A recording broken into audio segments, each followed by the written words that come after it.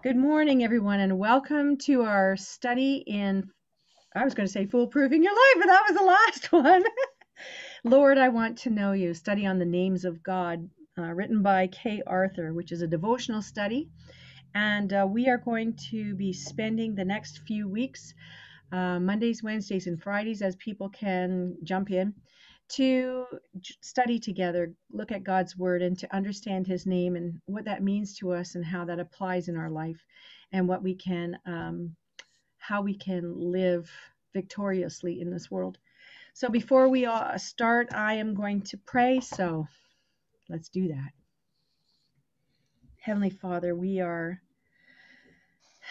so honored to be in your presence today.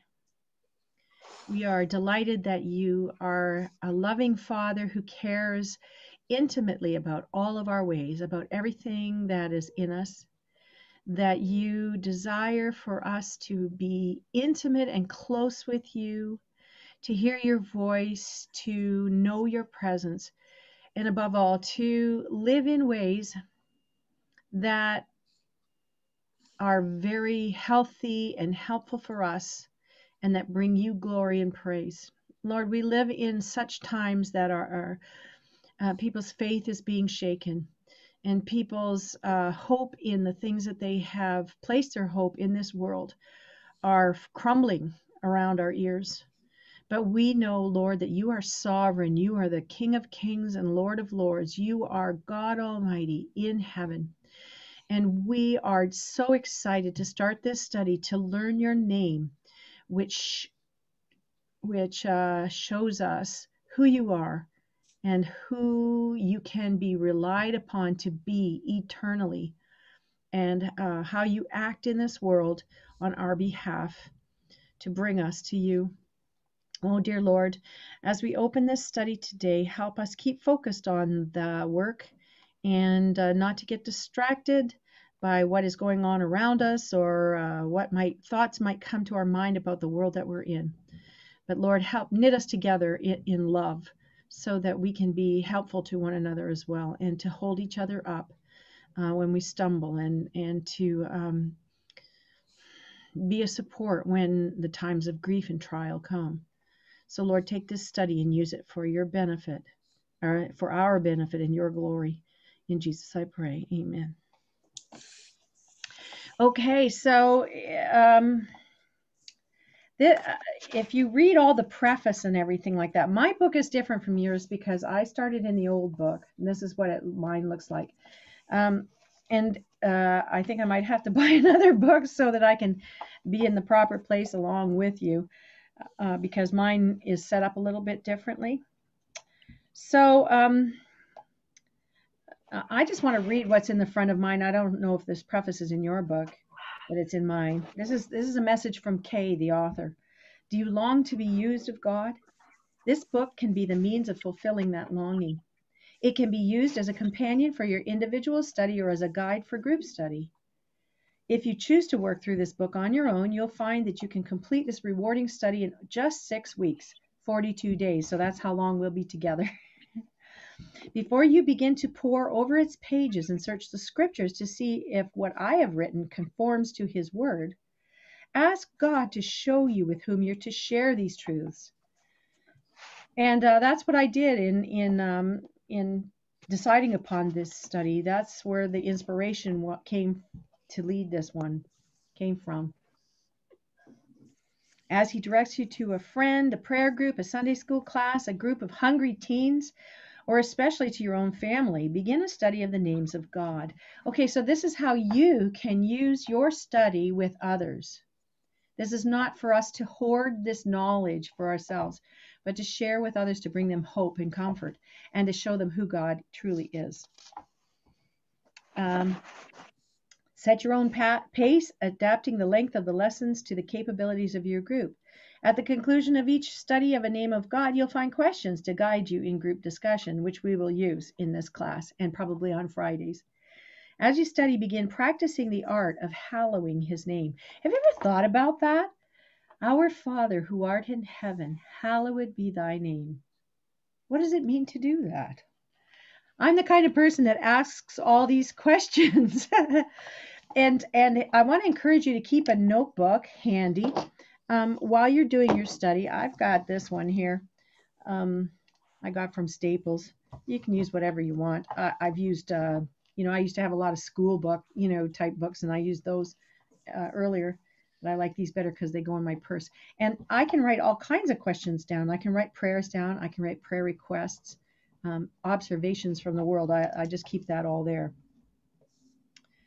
Okay, one last thing. Would you write me personally and let me know how God has used this book in your life? It will thrill my heart. That's Kay. Now, I don't know what her first edition was, but she must have received a lot of information.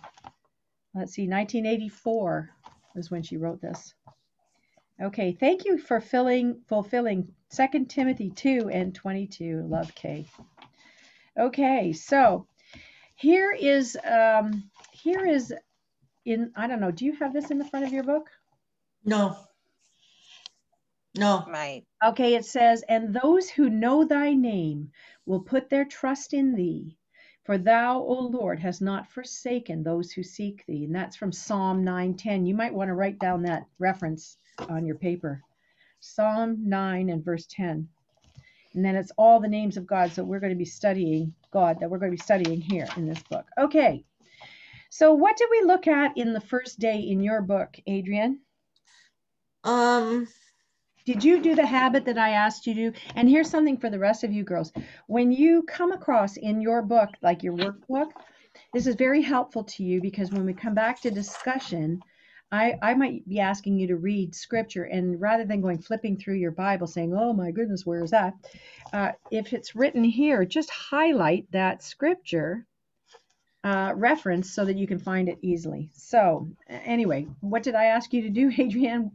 I'm trying to remember. What was on the first day? On the first day,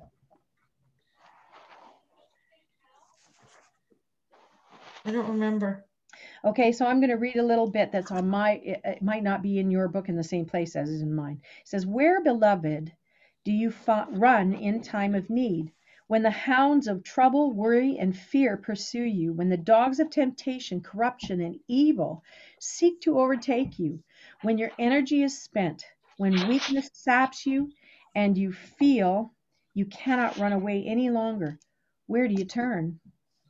Do you turn to your protector, the one who stands with arms open wide, waiting for you to come and bury yourself in the security of all he is? And then there's the scripture, Proverbs 18:10. Is that in your book there, Adrienne? Yes. Read it for me.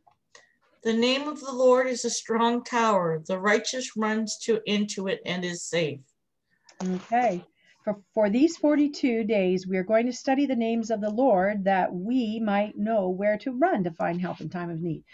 So, uh, when I, I remember when I was when I came back to the Lord earlier, like in about 1988, and I was reading my Bible and I did not understand what this mean. What does it mean that the name of the Lord is a strong tower and the righteous runs into it and is safe? And so I have been on a search my whole life to find out what the, this means. And the thing about God is that He plays hide and seek with us. He's not really hidden, but He wants us to seek Him. And he, then He's delighted to say, Here I am, and show you what He means. Okay, so in Isaiah 50, verse 10, we have another verse. Um, trust in the name of the Lord and rely on your God. And, And that's that- all it gives me. Yes, and that that is uh, Jesus' prayer on our behalf. And this is when I studied John, the book of John, this became so precious to me. Uh, John 17, 3, Jesus prays for his disciples. And one of the things that he prays is there. Re- read that for me. Hold on two seconds. Okay. that that they may know thee, the only true God, and Jesus Christ, whom thou hast sent. That is what Jesus prayed for us. That's what Jesus prayed for his disciples when they were there. But that is what he prayed for us too, because later on in the prayer it says, and not only for these, but those others who will come after, right? And that's us. And um, so this became the goal of Paul's life. I'm just reading out of this book, okay? So anybody could do this job that I'm doing. just so That's you know. Okay. But now I, I'm, I'm getting caught up here. Yeah, okay. So in Philippians 3:10, Paul's goal was what? That he would know God. Yes. That he would know God. Okay, so this study is going to be so precious to us because that's what we're going to do. Okay, so now I've got on the second day. Um, Mary, did you get your book out of the car yet? It wasn't in the car, so it has to be down in the basement. So I have to go looking down in the basement. Oh I've my, got my goodness. Bible or my I know. I thought it was in the car for sure. So No, no, I, gave- didn't. I gave you one and it was in your purse. I know. I didn't. Uh, okay, okay, so you still haven't found it. Okay, never mind. I haven't found it. Okay, never mind. I'm not going to natter at you. Thank you. know I in my glove compartment. I don't know. Okay. Okay, so Psalms 20, verse 7 says, and because Adrienne's got the book there, I'm going to get her to read it.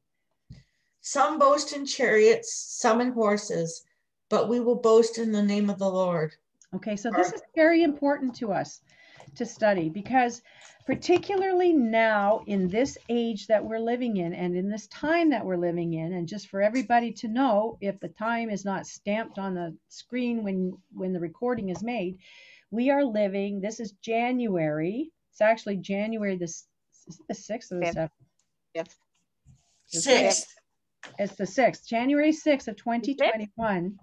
And we Oh. are in the second part of a of a full year of lockdown where people have not been able to visit one another. I'm sure you know this. I'm not going to go into that. But it's causing people um, to rely on things that ultimately I believe are going to fail. And our scripture tells us here some boast in chariots and some in horses, but we will boast in the name of the Lord our God. And so, again, for me as a person, I said, What is that name? right? What is the name?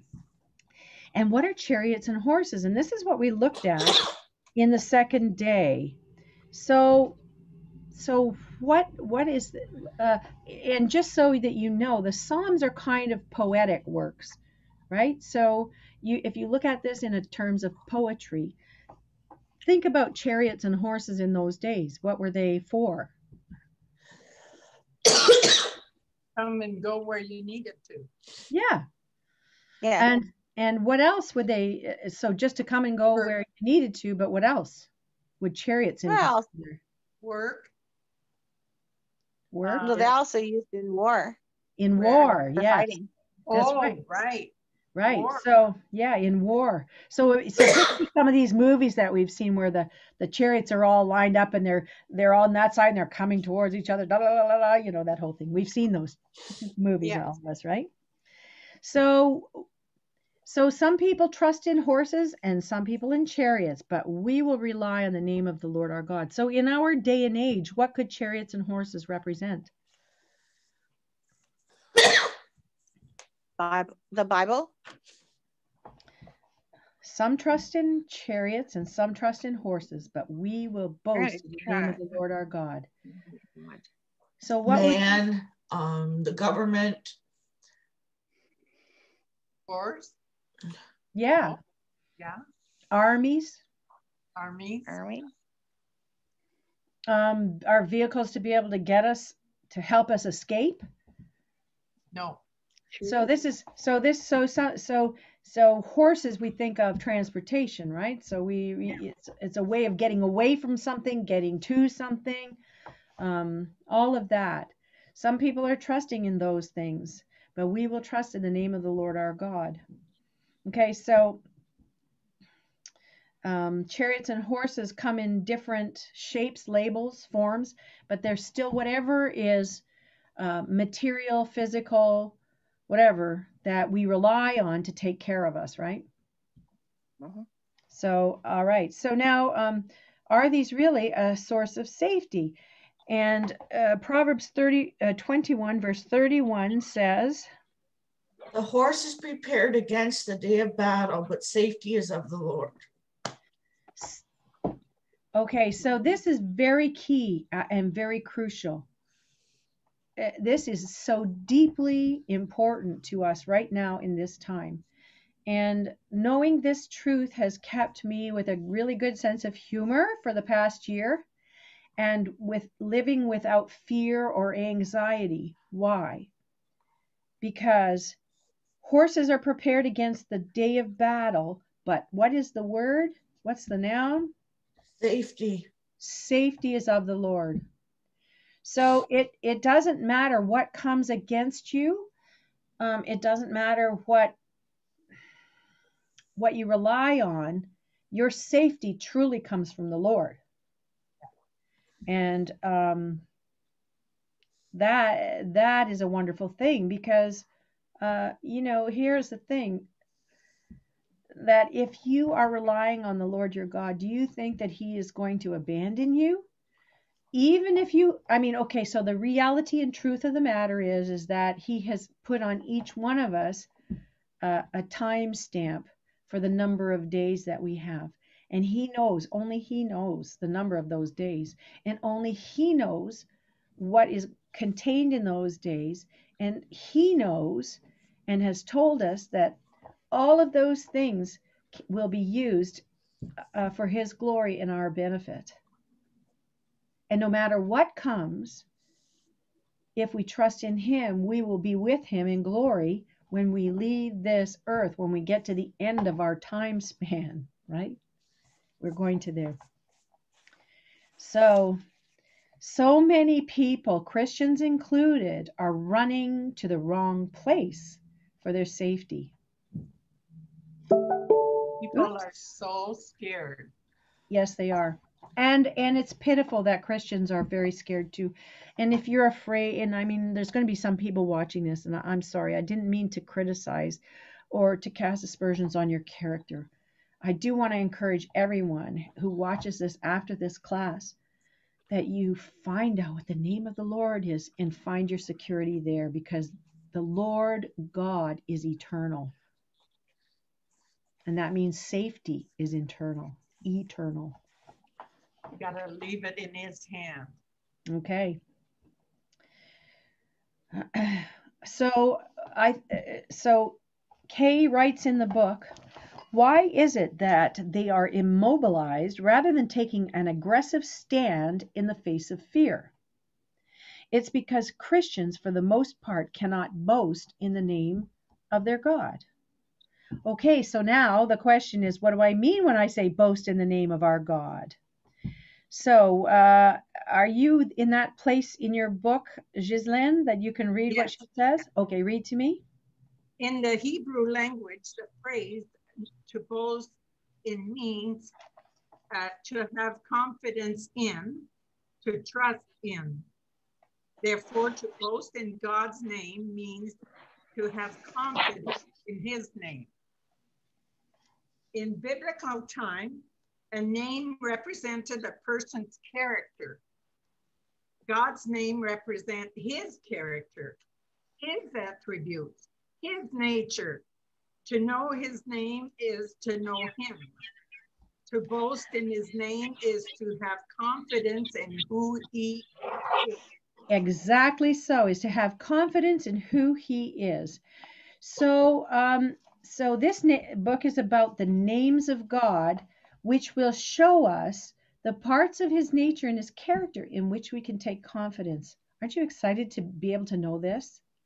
Because once you know this, you never have any reason for any fear, any anxiety, any wavering in your faith when you understand this. Okay. Um, so we're going to continue on. And I just wanted to, we're just about running out of time. I got se- seven minutes, six minutes left to go. It says, um, in the day of trouble or need, we are to run to our God to put our trust in Him. That is why He says, Call upon me in the day of trouble. I will deliver thee, and thou shalt glorify me. And that's from Psalms 50, verses 15. And here's a great question Is your heart troubled in any way? Is fear of any kind lurking in the shadows of your consciousness? Do you feel insecure about anything at all? If the answer to any of these questions is in the affirmative, list your fears, insecurities, and troubles in the space below or in a notebook, which I highly recommend because then you have a notebook and you can go back and see how the Lord has answered your prayers. then take them to the Lord in prayer and ask God to show you in the days to come one of his names that will meet your particular need. Then, when he shows you, tell him that you will boast in that name. So, this is how we practically apply what we learn. So, we don't just learn God's names for educational purposes to for knowledge's sake, but so that we can boast in his name and so that we can tell other people his name and how that applies in their circumstances because it applies in ours. So I'm going to, uh, we've got five minutes left. I'm going to let you know what we're going to do. We're going to finish this uh, first, uh, we're going to do, we've only finished up to uh, sec second day. So third day, and the third day uh, is uh, on the study of Psalm 20. And we are going to actually do some um, inductive study methods by marking up the text. So it, here's what I suggest. If you don't have a Bible that you want to mark all up, you can go to BibleGateway.com and print out um, on a piece of paper, if you like, Psalm 20. And uh, there are some suggestions here of what to, you are going to do because we're going to learn about boasting about in the name of the Lord. Uh, so today is Wednesday. Um, I I don't know if we're going to go through this on the, the same pattern. Uh, I I mean it, this doesn't come with a leader's guide, so I want to break it down.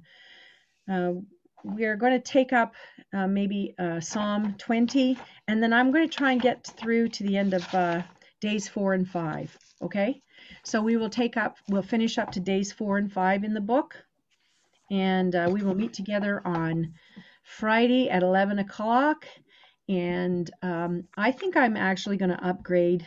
I'm going to take your suggestion and upgrade to the professional quality of Zoom so that we can have, we're not bound by 40 minutes as usual. Okay, does anybody have any prayer requests in between now and then? That besides the ones we've mentioned?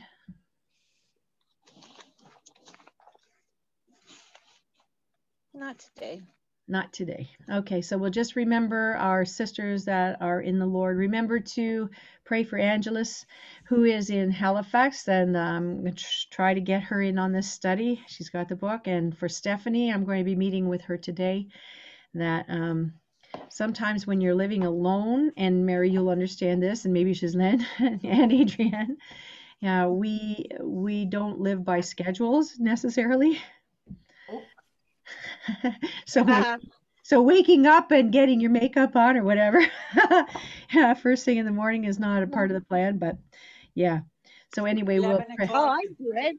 I don't have the energy to do it yeah. until yeah. later. I used to i used to be up and ready to go by 7 30 makeup on showered makeup on everything. But i yeah. well, that's what happens years, when when illness visits us isn't it yeah, it does. Okay. And I don't like anyway, I do have a prayer request. Okay. That I find my Bible and my book. Oh yes. for Friday, for tonight, actually. it's very far away, my dear. I, I I don't think it's buried that deep. Thanks. I don't think so either. I think it's right close at hand, I, but I oh, just oh, maybe your Bible is. Maybe your Bible is. Um, found we found our Bible. Okay. I found I did find it that part. Okay.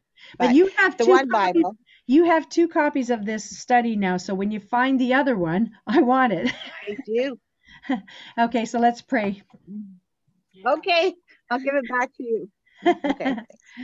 Heavenly Father, you are so good and so mm-hmm. great, and we we read that your name is a strong tower, and that the righteous run into it and, and are safe. And we we read that some trusts in some trust in chariots and some trust in horses, but we will trust in the name of the Lord our God.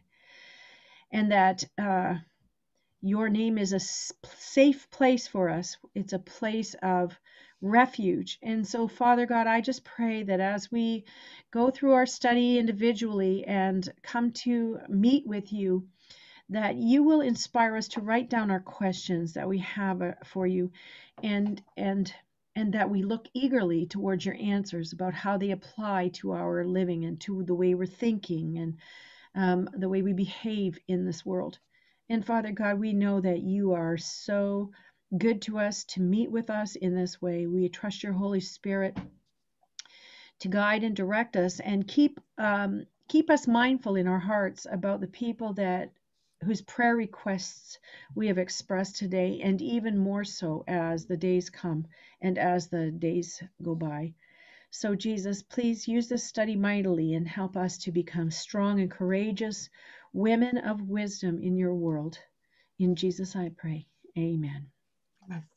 Okay, so ladies, uh, I'm running around today and I will see you on Friday here. Have a good week. Okay, sounds good. Okay, bye bye. Bye, everyone day, in YouTube land. You too, and safe I need to travels. talk- Thank you. Okay. I need to talk to you when the meeting's over. Okay. God bless everyone. Bye bye. Okay, I'll call you. Bye.